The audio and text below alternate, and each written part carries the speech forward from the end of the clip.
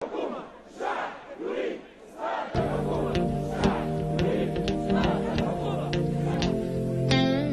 Tutto è iniziato qui, a Sidi Bouzid, sulla tomba di Mohamed Bouazizi, il giovane tunisino che si diede fuoco esasperato dai soprusi e dalla povertà causati dal regime del presidente Ben Ali. La fiamma dell'indignazione si è poi propagata in Egitto, Libia, Yemen, Bahrain, Siria, portando migliaia di uomini e donne, giovani e anziani a occupare piazze e strade per chiedere libertà.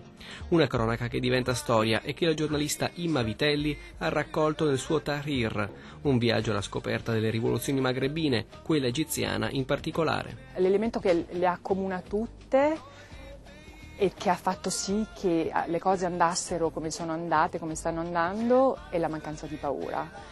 Una dittatura per sopravvivere ha bisogno della collusione della complicità del popolo.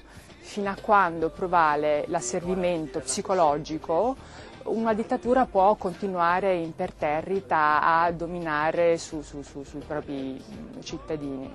A un certo punto non c'era più, um, gli si poteva far di tutto, gli si poteva uccidere, gli si poteva torturare e loro non se ne sarebbero andati, non avrebbero fatto un passo indietro. È stato questo il cambiamento epocale, secondo me. Evento epocale, la primavera araba lo è stata anche per aver portato alla ribalta il grande potere della rete e dei social network. Durante i giorni epici della rivoluzione, per sapere davvero quello che stava succedendo, bisognava andare su Facebook, su, su Twitter o su YouTube per, per, per, avere le notizie di prima mano piuttosto che sulla CNN o su Al Jazeera che invece faticosamente rincorreva.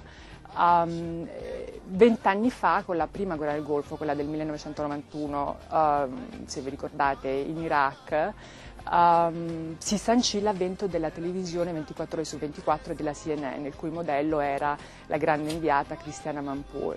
Vent'anni dopo uh, invece abbiamo uh, l'avvento di uh, cittadini testimoni sconosciuti che con la loro telecamerina o con il loro cellulare filmano in diretta gli eventi che diventano immediatamente fatti conosciuti in tutto il mondo. Con voce limpida e piglio anglosassone, le storie che Imma Vitelli ha raccolto al Cairo non possono non lasciare traccia nel lettore, come è successo pure alla reporter, per tante ragioni.